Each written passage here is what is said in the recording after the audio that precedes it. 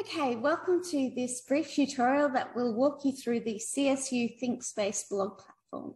This blog platform might look a little bit familiar to you if you're used to using WordPress because it is a multi-site installation of WordPress. So that's why there might be some similarities. So we're going to start right at the very beginning, and that is where you log in. So when you log in for the very first time, you might think nothing is happening, and that's because this is a single sign-on site. And so when you click on login, you need to just double check and your name should appear up in the top right-hand corner if you're already logged into another CSU window. But if you're not logged in, it will prompt you for your username and password for CSU. Once you know you're logged in and you can see your name up here, the first thing that I would encourage you to do when you first set up your blog is to edit your profile. And we can do this by clicking edit profile. Now, yours will look a little bit different from mine because you probably won't have all of these menu items going down the left-hand navigation. But what we want to do is we want to go to your avatar and profile, and this is where you are here. So this will allow you to change the color scheme of your blog if you like. And it will also let you change your nickname if you choose. Now, some of these you can't edit because they're loaded automatically from the CSU uh, login, but we can change this one. So if you want your full name to appear, you can change that. And one of the more important things is the biographical information. So this doesn't have to be your life story, but a sentence or two here would be really helpful for your readers to get to know who you are and whether or not they're going to be interested in reading about your blog. So just a little bit of background information, especially thinking about this blog and how it's related to teacher librarianship. So information pertinent to that, such as perhaps the school you're teaching at or your experience in education and perhaps why you've joined this course or just a little one or two sentences, maybe three at the most. Finally, you'll need to set your profile picture. Now, it doesn't have to be a photo of you. It can be an avatar. It can be a symbol that represents you, but something just to make the blog a little bit more your own. There's something a little bit um, unprofessional and off-putting about uh, profiles that have no photo at all and just have that shadow avatar. So to edit that, you'll need to go to your avatar. So click on that and you'll see that you're able to choose your file, choose a small size file and the smaller the better because this is only going to be very small image on your screen and make sure that it's a JPEG, a GIF or a PNG file, which are the most common image files. So you're probably not going to have too much trouble there and then click upload and the image will automatically upload. It will allow you to crop if that's necessary and then it will set the image for you. So our next step is creating our first blog. Now, when we go to create our first blog, you need to do a little bit of pre-thinking because it's going to ask you information such as who, what you're going to title your blog, and the username you'd like to append. So you can see in mine that I've got Kay O'Doney as my username. Try and choose something that's identifiable. And then your the name of your blog itself, I've just called this one All About Teacher Librarianship. With the name of your blog, try to choose something that's descriptive and something that is uh, going to indicate to readers what they're likely to expect but also try to make sure it's not too narrow and specific because remember that this blog is going to be with you for your entire teacher librarianship course and we want it to relate to all of the work and learning that you're going to be doing throughout all of the different subjects. So don't make it too specific to this particular subject. Once you have set your title and you've created your blog, you will then see that all of these little options will appear in the left-hand nav. Now, the first place I'd encourage you to go after that is the settings and click on general. And you'll see here that you can actually change your site title.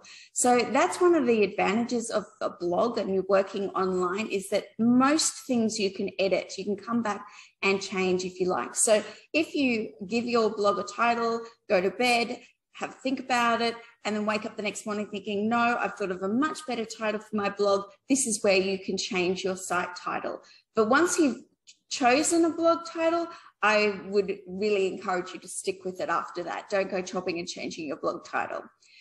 Here, though, underneath is another important thing that I'd like you to change, and that is your tagline. Now, the standard tagline is just another CSU ThinkSpace site, and this needs to be changed in order to reflect your particular site. So you just need a short little phrase, something catchy, something that will be memorable. So here it's going to be musings of a TL lecturer. So you can see that it's nothing too descriptive, but it gives an indication of what the blog is all about. So that's the next step that I encourage you to take. Now, in the next little section, we're going to be talking about setting your privacy settings. So the first one is a privacy setting to do with your site visibility. To get to that, you need to go to settings and reading. Now here, you will see site visibility halfway down the page. There are a number of privacy options that you can choose from, and it's completely up to you. However, there's a general setting, and then there's other settings that if you would like to invoke, um, I would ask if you could just contact me so we can have a little bit of a discussion about it first. So, for the purposes of this course, we would prefer for you to tick discourage search engines from indexing this site. This means that your blog is freely available to the uh, to anyone who has the URL, the link to your blog site. Uh, but it's not indexed on a search engine. So if someone looked it up on Google, it wouldn't be wouldn't come up in the search results.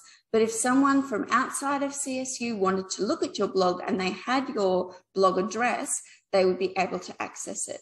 The reason we ask you to choose this option is because it's really good practice to be able to share your blog, and you might well want to share your blog posts with your principal, with colleagues, with other TLs, with other teachers. And if you have this option, you can do that very easily. Also, it allows your fellow students and myself to subscribe to your blog using an RSS feed reader, which makes it a lot easier to keep up with blog posts and we'll talk about RSS feed readers a little bit more as time goes on. I would discourage you from choosing allow search engines to index this site because this means your blog is freely available to the world. And while at, in the future that would be perfect, while you're using your blog as part of the tasks to complete for your course, it's preferable that you don't open it up to just the general public. Now you can lock your site down um, more than this, and that is totally up to you. But if you choose to lock it down a little bit more, I'd ask you to let me know and let us discuss that, just so that I can understand your reasons and also so that I can be aware that I'm going to be need to go through different procedures in order to access and that your fellow students are going to do the same. So you can click visitors must have a login, which means that only CSU users or user, registered users of ThinkSpace will be able to access and uh, only able to when they're logged in. So this is fine. It just might make it a little bit more difficult for people to access if they're not logged in on their phone and things like that. Uh, you can make it only registered users to this site. Now that I would definitely say no, don't do that because you don't want to have every have to enter everyone as a registered user um, that would just be painfully slow and uh, a little bit pointless because you basically will achieve the same purpose with uh, the first visitors must have a login. Uh, you can also make it password protected. The difficulty with this is letting people know what the password is, and including myself, and I'll need to access your blog for assessment, and other markers will need to access your blog for assessment purposes. So if you are going to make it password protected, we really need to understand what what that what your thinking is and how we're going to manage that password access because there's a lot of students and it's very difficult to manage when everyone's got different passwords and things like that. So um, uh, totally up to you, but unless you've got a particular uh, reason for locking your site down, I would encourage you to go with discourage search engines from indexing this site.